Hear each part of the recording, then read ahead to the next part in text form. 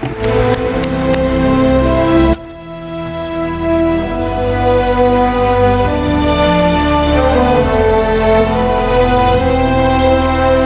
you very much. بسم الله الرحمن الرحيم.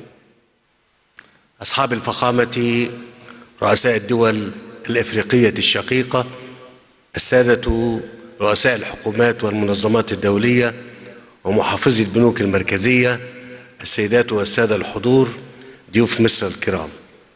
إنه لمن دواعي سروري أن أرحب بكم في مدينة السلام شرم الشيخ التي تشرف باستضافة الاجتماعات السنوية لبنك التنمية الأفريقي 2023 وهي الاجتماعات التي حرصت مصر على استضافتها على أراضيها للمرة الثالثة تأكيدا على بلغ اهتمامنا بتعزيز المساعي الدولية والإقليمية الداعمة لجهود التنمية في جميع ربوع قارتنا الإفريقية.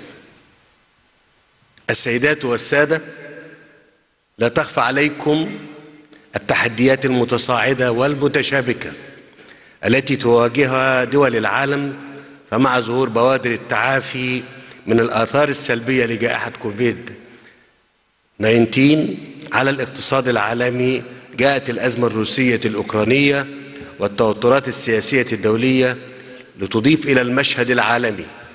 تعقيدات غير مسبوقة تظهر آثارها في اضطرابات حادة في سلاسل التوريد العالمية وموجات تضخمية جارفة.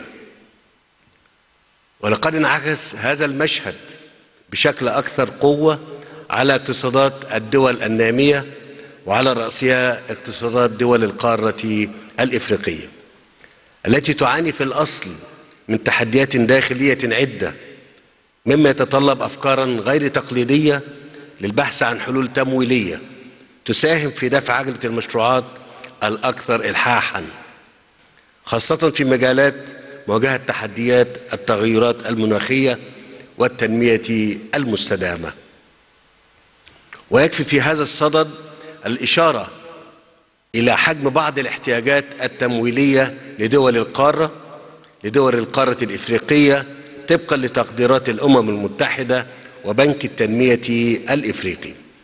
ونذكر منها على سبيل المثال لا الحصر 200 مليار دولار سنويا لتحقيق أهداف التنمية المستدامة 144 مليار دولار سنويا لمعالجة الآثار السلبية لجائحة كوفيد 19 108 مليارات دولار سنويا لتمويل مشروعات تهيئة ورفع مستوى البنية التحتية.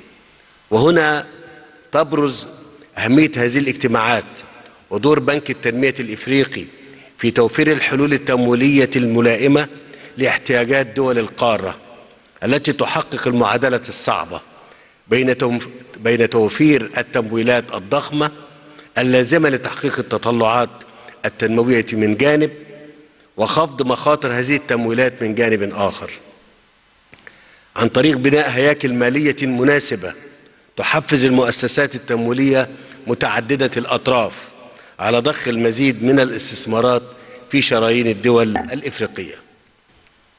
كما أغتنم هذه الفرصة لدعوة المؤسسات التمويلية متعددة الأطراف إلى إعادة النظر في المعايير والشروط التي تؤهل الدول للحصول على قروض ميسرة بحيث تكون متاحة للدول منخفضة ومتوسطة الدخل على حد سواء خاصة في ظل تصاعد تكلفة الاقتراض وزيادة أعباء خدمة الدين وما له من وما له من انعكاسات سلبية على الموازنات المالية لتلك الدول.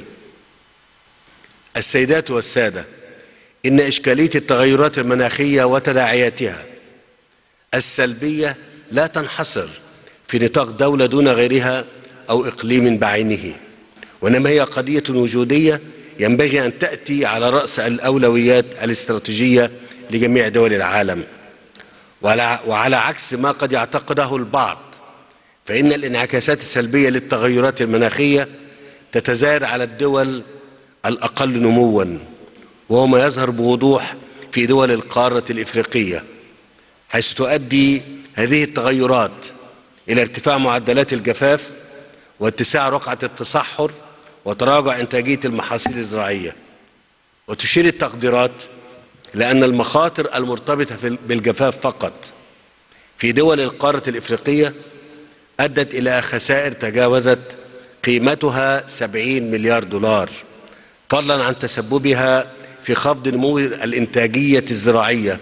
للقارة بنحو 34%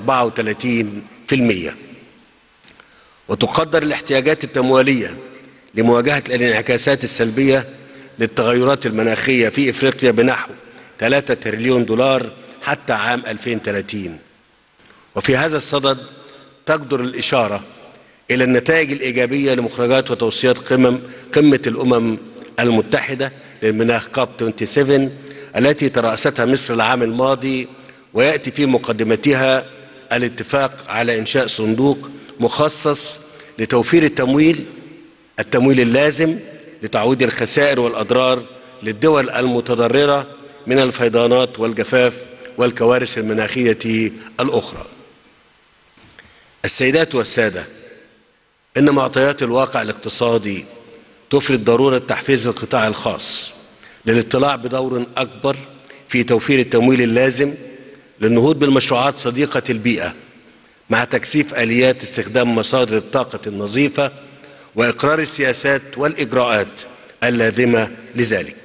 وفي هذا الإطار تولي مصر اهتماما بالغا بالبعد البيئي حيث أصدرت الحكومة المصرية عام 2021 الإصدار الأول من دليل معايير الاستدامة البيئية تحت مسمى الإطار الاستراتيجي للتعافي الأخضر وذلك بهدف توفير الإرشادات اللازمة لدمج معايير التنمية المستدامة في الخطط التنموية بما ينعكس بالإيجاب على جودة الحياة وعملية التنمية. ومما لا شك فيه أن فعاليات النسخة الحالية من الاجتماعات السنوية لبنك التنمية الإفريقي تمثل فرصة متميزة لتبادل المعرفة والخبرات. وتوفير الدعم الفني اللازم لمواجهة تداعيات التغير المناخي مع طرح أجندة واضحة وفقا لجدول زمني لتحديد سبل وآليات التعامل مع مختلف التحديات التي تواجهها دول القارة الإفريقية وصولا إلى تحقيق أهداف التنمية المستدامة. ضيوف مصر الكرام ختاما أجدد ترحيبي بكم جميعا. وأتمنى لكم التوفيق في هذه النسخة من الاجتماعات السنوية لبنك التنمية الإفريقي الذي أتوجه له بالشكر على جهوده الملموسة في تمويل المشروعات التنموية في مختلف أنحاء قارتنا والتي تجعلنا نتطلع للمزيد من الشراكات الناجحة مع المؤسسات التمويلية متعددة الأطراف لتحقيق تطلعات شعوبنا نحو النماء والتقدم والازدهار.